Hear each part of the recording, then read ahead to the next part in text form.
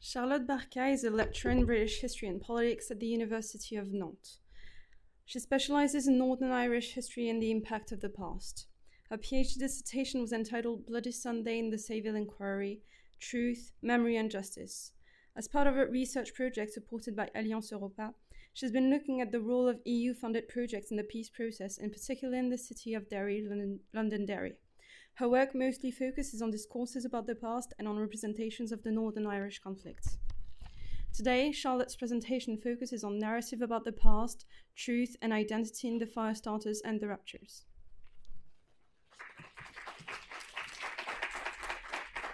Thank you. Well, I'm very small. I don't know if you can see me from behind the desk. Uh, so first, I want to thank the organizers for inviting me to speak today. And I must say that as someone who does not specialize in literary analysis, it's a very it's a new exercise for me. So I tried to well, I read these two novels which I really loved, and I tried to find echoes uh, between the novels and uh, the things I usually work on, as have uh, has just been explained. So the past, narratives about the past, memory, and truth. So I have decided to work on the Firestarters and the Raptures. I think now everyone knows what they are about, uh, especially the fire starters, The Raptures, yes, everyone is aware of. Maybe not everyone has read the book, but uh, I will move on because we don't have much time left. So I will not explain the plot. Uh, so, sorry, I did have a small introduction, yeah. Uh, in both the Firestarters and the Raptures, there are many references to the commemorative practices of the Unionist and Loyalist community, in particular bonfires and the 12th. So, the 12th, as we now all know, is to commemorate the Battle of the Boyne in 1690. Um, in both novels, the narrator and sometimes the characters themselves display a certain skepticism, often tinged with irony towards these practices. In particular, the apparent emphasis on remembering the past, it is shown as disconnected from any real knowledge of the past that is supposedly being remembered, uh, the, the truth about the past, in other words. For example, in the Raptures, uh, Hannah and her grandfather have the following discussion about the 12th.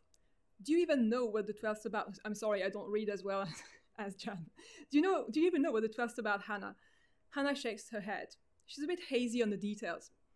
She thinks it's something to do with letting Catholics know they're wrong. At least you're honest. Half the Egypts out there have no idea what they're marching for. Some of them don't know why on earth they're marching, but their daddies are orange men and their daddies before them. They've been at it so long they've forgotten what the point is.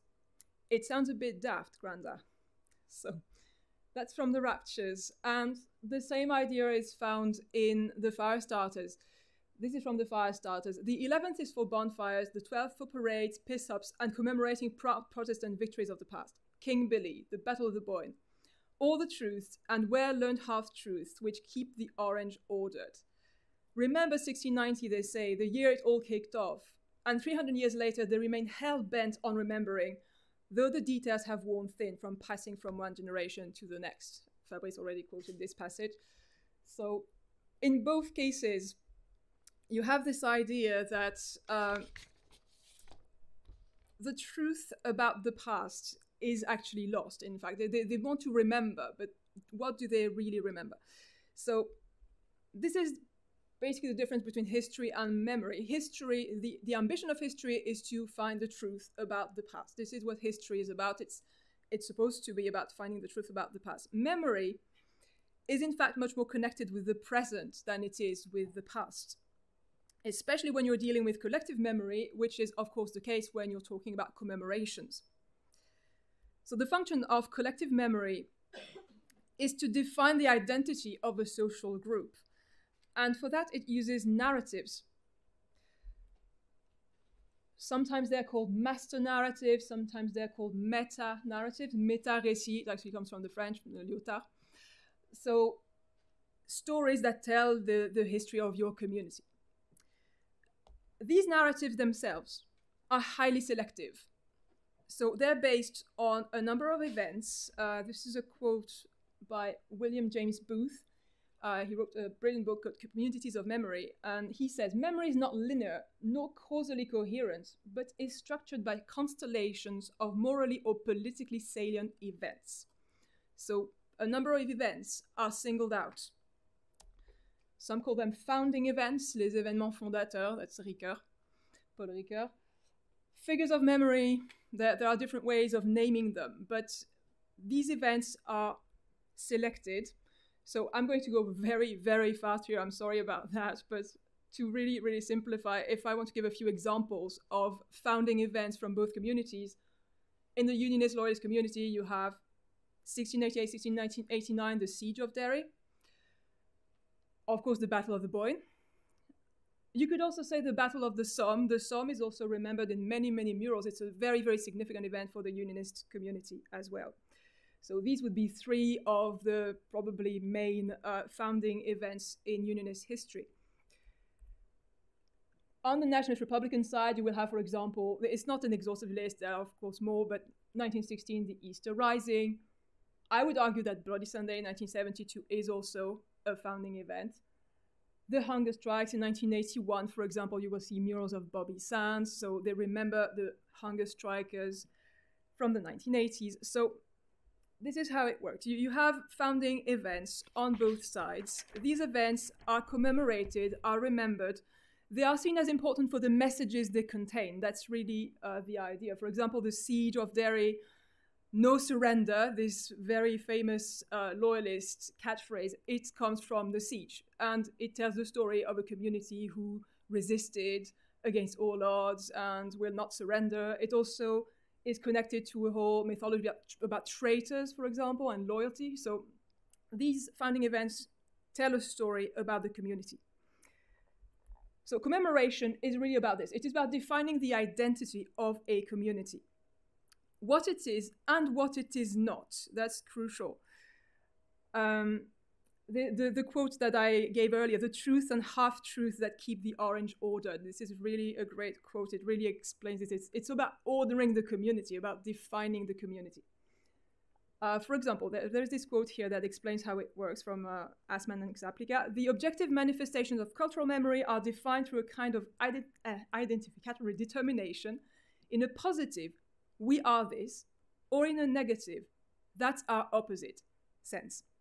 The supply of knowledge in the cultural memory is characterized by sharp distinctions made between those who belong and those who do not i.e., between a person to oneself and what is foreign. So it's about differentiating us from them. And Hannah's situation in the raptures really illustrates the importance of these founding events in the perceptions, uh, in the perception sorry, of one's identity, because her parents, even though they're Protestants, are not interested in the Orange traditions. So they're both insiders and outsiders. And therefore, Hannah knows what she's not. She knows she knows she's not a Catholic basically. But she's not even too sure she's a Protestant, in fact. Uh, there is this whole passage about her classmates who are in bands. Uh, she hears them sing the sash. Even they don't really know the song, by the way. They're, they're mumbling the bit they can't remember. So it's not just her, but she's very confused about this. Uh, they sing, We are, we are, we are the Billy Boys. This thing about following Rangers up the Falls and round Derry's walls. Hannah doesn't have a clue what they're talking about. And she talks to a classmate uh, who's also a bit clueless because his family is also a bit uh, marginal. Is your dad an orange man? He asks. No, says Hannah. Is he in a band? No. Are you even Protestants? I think so. She isn't exactly sure what they are. So here you see uh, the confusion. She cannot relate to these practices, the 12, the bands, the singing, and she cannot reconcile her own experience with the approved narrative of what it is to be a Protestant. So she isn't even sure if she can really call herself a Protestant. In the Firestarters, the wave of anger that goes to the city is a response to a perceived attack on the community's symbols uh, through their commemorative practices, in this case, bonfires. And symbols are described as a way to cling to your difference and therefore the basis of your identity. First the peace walls, and then the roads, the flags, and now our bonfires, they say. Soon we won't have anything left. They are at heart terrified that once the last symbol has been stolen from them, they will not know themselves different from the stranger in the street. So, this is really the function of memory, commemorative practices, symbols, as a way to define what you are as opposed to the others. Thus, from the point of view of the community itself, identity is not based in any attempt to preserve the truth about the past. It's rather a means to maintain the barriers between us and them. Now, I want to move on to another idea. So I also worked a bit on regeneration through uh, studying EU-funded project in, in Derry. Um, so there is also this issue of identity as the image you project to others, outsiders. And in particular, in the fire starters, especially, there, there are lots of passages that allude to tourism and the problems raised by regeneration policies in the city like Belfast. So I don't know Belfast as well as I know Derry. I'm sorry about that, but I would try to still find echoes between um, regeneration, tourism, and this idea of a, a, loss of meaning or authenticity.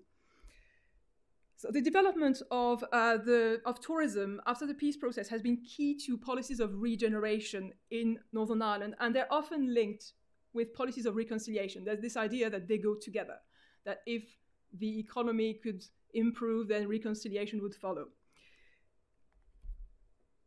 But of course, uh, some of this tourism is also linked to the conflict. So there are several types of tourism. The first type is so called dark tourism, which involves the famous black taxi tours, for example, uh, taking tourists to see the murals in particular.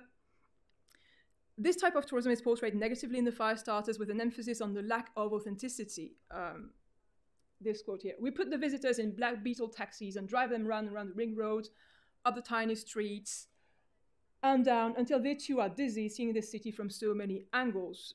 And at the end, we dance for them and their foreign money. We are also prepared to cry if expected. So here the locals are basically selling foreign tourists what they want, which is a performance of trauma in a way. It is not authentic. They're, they're prepared to cry because they are supposed to be miserable and in, in a conflict or post conflict society. Uh, this is called, well, Bree T. Hocking in her book about regeneration talks a lot about tourism as well. And she talks about the tourist gaze, the problem of tourist gaze and this objectification of locals which is sometimes self inflicted because they find profit in it, of course, as well. So sometimes it is a self inflicted objectification in a way. And she explains also that this kind of tourism is being reframed or repackaged, if you want, by public policies as a form of peace tourism. Uh, and she um, quotes this example of tourists writing messages on the peace walls. And she says, ironically, very often it is for the consumption of other tourists it's not the locals that are going to look at the peace messages. It is other tourists. So it's just, it just feeds itself in a way. But there's very little truth in that and very little authenticity. Uh, the tourist board in itself, I just picked this one quote, but there were many, uh, is depicted as clearly creating lies about the city, basically. Even the tourist board, whose job it is to spin the city sideways, are calling this summer a wash- washout. So the idea is they're producing a fake image of the city. And apart from dark tourism, of course, there is another type of tourism, and it is the one that is connected to regeneration, and it's probably best exemplified by the Titanic Quarter. Um, Dominique already mentioned before that uh, the, the boat itself is mentioned but not named in the novel. Uh, the, the sunken boat which holds the whole city captive from the ocean floor. So there's this idea that it's a bit of a prison. And really, uh, the Titanic, the Titanic Quarter, so the, the whole area around uh, this new uh, attraction called Titanic Belfast, uh, has often been criticized. It was really at the heart of the whole regeneration process in Belfast. It has been criticized by many academics for having very little truth in it. I've got a quote here, yes. Uh, William James Neill. Uh, Belfast sees an appropriation of its shipbuilding heritage appropriately scrubbed and sanitized in the discourse clothes of the urban renaissance. This is very typical of uh, academic uh, writing about Titanic Belfast. It's seen as a theme park more than a museum. It does not really have any artifacts. Uh, it is more of an experience. Uh, it does have educational, uh, some a section that, that is more educational, but it, it, does look a bit more like a theme park than a museum, to be honest. So it's often seen as the most obvious example of the commodification of heritage and of a tendency to create a new post-conflict identity for the city that is wrapped in consumption. This is the expression used by Neill and Grist, an invitation was extended to common civic pride with the possibility of the pooling of difference in a shared identity wrapped in consumption. So reconciliation goes through everyone becoming a consumer. There was the idea also of the foreign money in the quote from the novel. So, you know, in a way, consumption is the solution to everything. Uh, another idea that resonated with the novel, I think, is this idea of civic pride. It was in the previous quote I've just uh, read. This idea of Belfast trying to be a true European capital. Uh, it's often referred to in the Firestarters in an ironic way. Uh, this city continues to talk. It tells anyone inclined to listen that it is a European city, twinned with other European cities. Who is this city kidding? lots and lots of quotes. I selected only a few. Um, all those things. There's this, idea in the book that Belfast is hardly a proper city. It's a, it is functional in limited measure. So it is a functional city, but barely. Uh, also, this quote um, the fact that tourists might even think of going there is portrayed as an anomaly. We wish to say to them, the tourists, Are you mad? Why have you come here? Don't you know there are proper, other proper cities just one hour away? By budget airline, there is even Dublin. we are not supposed to say this. We have already begun to lean on their money. So, again, the idea of money. Here, uh, people kind of selling their soul for, for the money of tourists. Uh, this really resonated with me because, uh, as someone who goes to Derry quite often, I hear that all the time. People in Derry do not understand why I go there. And I heard this kind of discourse time and time again. People who told me, you're spending nine days in Derry. What are you going to do in Derry? Well, I love the city. There's plenty to do. And also, obviously, I'm an academic, but I wouldn't advise necessarily for tourists to spend nine days in Derry, but three or four days, I think, can be perfectly, uh, you know, a perfectly good idea. But th- there is this, what they call, in regeneration policies, they call that a lack of civic pride. The idea that your place is not interesting, that people have to be mad to come to this city because there's nothing interesting there. So this irony about Belfast um, and its claim to the status of a true European capital, it also reminded me of many quotes I found in uh, The Great Reimagining in the, the book by T. Hocking about regeneration policies. She quotes so many officials, and you see a lot of this kind of discourse, in fact.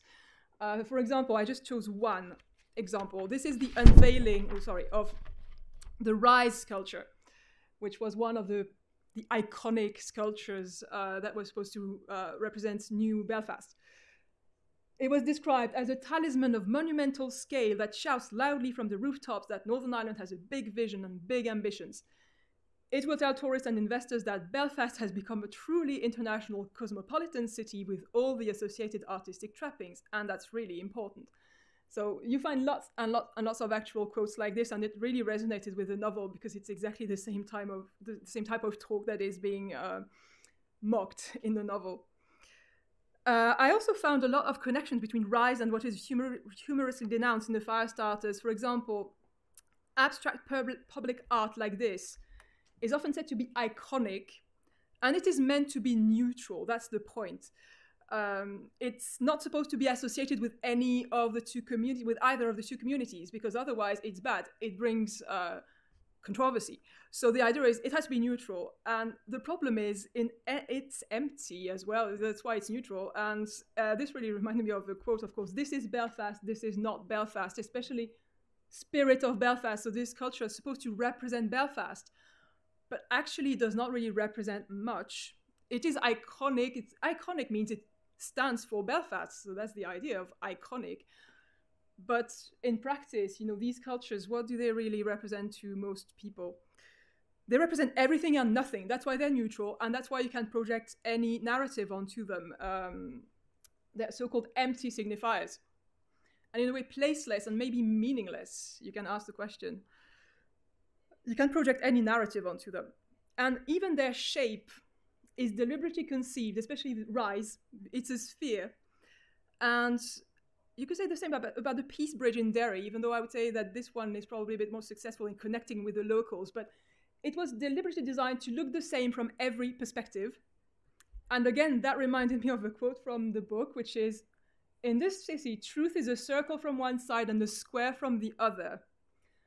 It is possible to go blind staring the shape of it. Even now, 16 years after the Troubles, it is much safer to stand back and say with conviction, it all looks the same to me. So, this fear is exactly that. It's the idea that since truth is a square from one side and the circle from the other, we're going to create something that looks exactly the same from every angle. And so people can pretend that it's all the same to them. I think there's really, I don't know if you were thinking about that when you wrote it, but for me, there's really something here that resonates. And I can see I'm probably running out of time soon, so I will go a bit faster on the rest. But I wanted to um, finish with language because, in my opinion, this is also connected to the idea that language is either con contested or empty. Uh, there's a lot in both novels about the talking and also names. So names are problematic. They're trying too hard to pass for truth if you know anything about the history of Northern Ireland, you will find lots of examples of names that are problematic. There's, of course, Derry, Londonderry, the very famous name dispute. But also the North of Ireland, Northern Ireland. People, some people prefer to say the North of Ireland.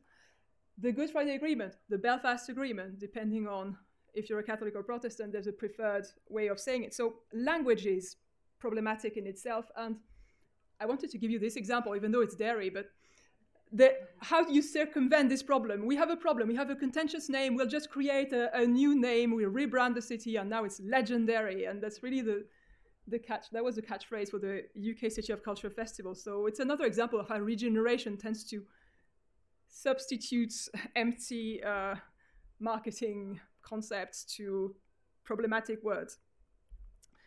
Uh, there's a lot also about empty talk in the Firestarters. The politicians say nothing they are particularly gifted in this arena and can often talk for hours at a time without saying anything at all.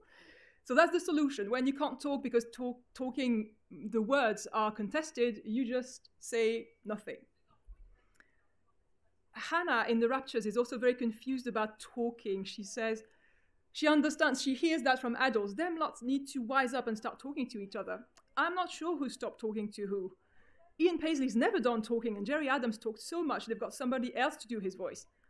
I suspect it's the one in the balaclavas who need to, to talk, maybe to each other or to the police. So she understands that talking is important, but she's not too sure exactly why. And I'm just thinking about this now, but of course, there's also Jonathan who's terrified of his daughter talking. So the status of words is, is problematic.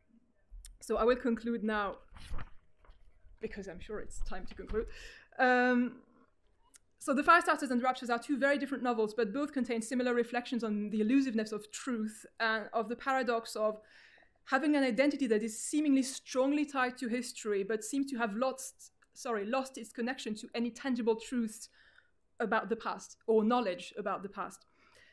In such a context, language can either become contested, like it becomes a battlefield almost, or it can become empty. That's the, the solution to the problem words tends to lose their meaning and whether it's the words of the politicians or the journalists. I, I wanted to talk about the journalists but obviously i did not have time to add a whole part about the journalists but they do take a lot of criticism as well in the books. All the sections of society that are trying to promote a certain image of the place like the tourist board for example if I was to make one last link to the political background, I would say this is reminiscent of the so called constructive ambiguity on which the whole Good Friday Agreement uh, was built. You know, it's a document that was drafted deliberately to mean several things to different people. So I don't know if that makes much sense, but that was my conclusion. in order to, to find an agreement, you know, you, you find something that can mean different things to different people so you can find an agreement between people who agree about nothing, except that peace is better than no peace.